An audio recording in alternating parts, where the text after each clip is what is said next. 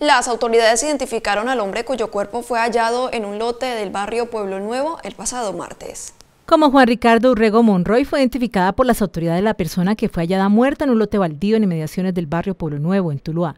La víctima de 27 años, quien residía en el barrio Victoria, según el informe oficial de la policía, estaba en avanzado estado de descomposición, vestía abuso de color azul con rayas blancas, jean de color azul y zapatos color café. El occiso no presentaba signos de violencia física, por lo que la causa de la muerte está por establecer. Eh, una persona que, de acuerdo a las primeras informaciones, eh, nació en el departamento de Antioquia, pero se había radicado en el municipio de Tuluá. Estamos adelantando las primeras investigaciones a ver cuál es la situación. Esa persona no registraba antecedentes judiciales. Eh, de acuerdo a lo que dictamina medicina legal, esa persona fallece luego de un impacto con arma de fuego eh, producido a la altura de su cráneo y es allí que esa persona pues, eh, lastimosamente fallece.